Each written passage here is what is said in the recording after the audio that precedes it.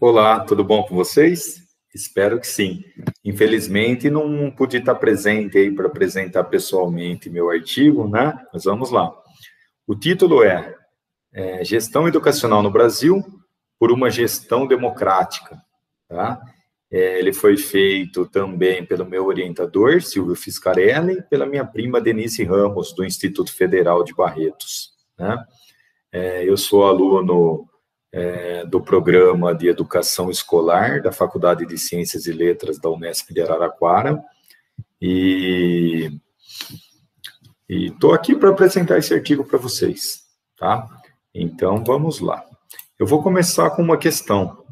Como a gestão democrática pode ser um instrumento de transformação da sociedade contemporânea, colaborando para o desenvolvimento e formação dos jovens, especialmente aqueles da classe trabalhadora?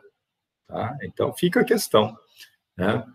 Bom, sem desconsiderar a complexidade desse questionamento, podemos dizer que a escola é uma instituição com possibilidades e limites para a transformação da sociedade. A escola assume potencialmente o papel de transformar a sociedade ao passo que amplia as capacidades humanas, né? É, ao buscar habilitar os indivíduos a intervir na transformação de suas próprias subjetividades e serem, ao mesmo tempo, capazes de transformar as condições de dominação, é, não sei, né? Então, é, ela pode colaborar para a reprodução da certa ideologia dominante na medida em que seleciona e privilegia determinados saberes em detrimento de outros, cujos valores, normas e costumes podem responder especialmente aos interesses de classes e grupos dominantes. Então, diante dessa contradição, entendemos que a escola somente será verdadeiramente pública, né, quando a população escolarizável tiver acesso indiferenciado, né, a uma boa educação escolar. E não sei, né?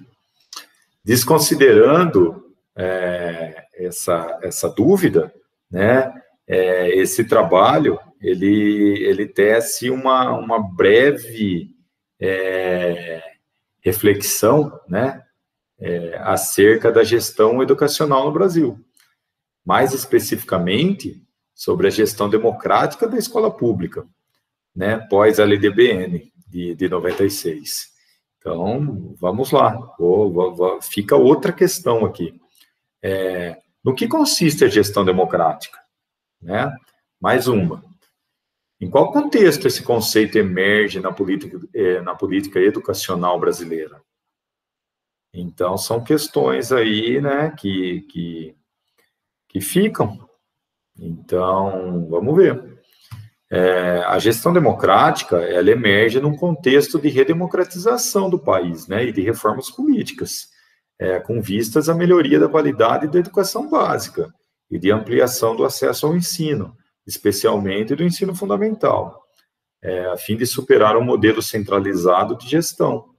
Agora, com relação ao que se estabelecem verticalmente, é, a gestão democrática, ela, ela pressupõe é, a participação coletiva nas tomadas de decisão e na construção de processos sociais, mas tem essa história, tem essa verticalização né, em jogo. Então, desse modo, a gestão democrática envolve toda a comunidade escolar e local, como gestores, professores, alunos, pais, entre outros, né? De modo que a prática educativa esteja articulada às especificidades e necessidades daqueles que a constituem, né? Citados anteriormente. Então, para tornar-se de fato acessível e significativa, a escola pública deve sim reconhecer as especificidades e necessidades dos sujeitos, né, de modo a oferecer reais condições para a formação de cidadãos críticos. Agora, é, a prática do processo participativo, fundamentalmente democrático, eleva social e intelectualmente as camadas populares e as torna protagonistas de sua história. É, nessa perspectiva, a gestão democrática da escola pública ela é vista como um processo de aprendizagem né, e luta política, pois ultrapassa os limites da prática educativa ao propiciar canais de participação no jogo democrático, né? que permite questionar as estruturas do poder autoritário que permeiam as relações sociais, e no interior dessas, as práticas educativas. Né? A proposta de gestão democrática da escola pública brasileira, ela apresenta como pano de fundo um processo de redemocratização do país, articulado a reformas políticas que se, inici, que se iniciam, perdão, é, principalmente a partir da década de 90, sob uma forte influência de organismos internacionais, é lógico. Né? É, para a manutenção de um modelo capitalista, tais reformas indicam modificações no papel que o Estado deve desempenhar. Né?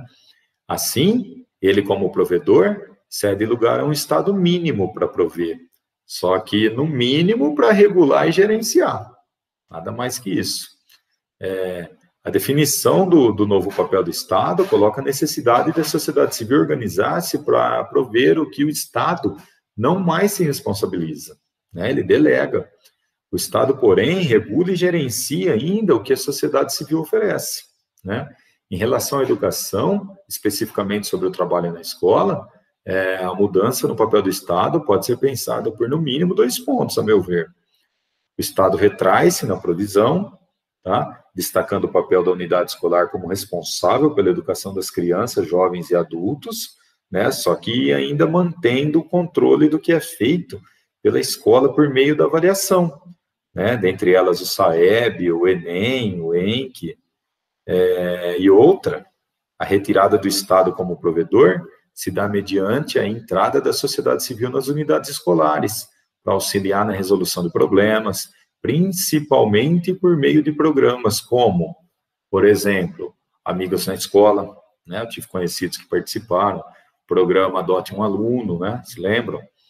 A reorganização dessa escola, a partir das propostas políticas que advêm da reforma, elas estruturam-se mediante três eixos principais: a gestão, a formação de professores e a inclusão escolar, né? Por aí.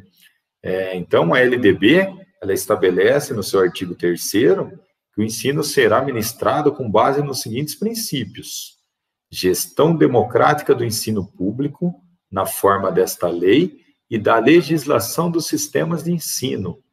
Tá? Outro, no artigo 14, que, o sistema, que diz que os sistemas de ensino definirão as normas da gestão democrática do ensino público na educação básica, de acordo com as suas peculiaridades, né?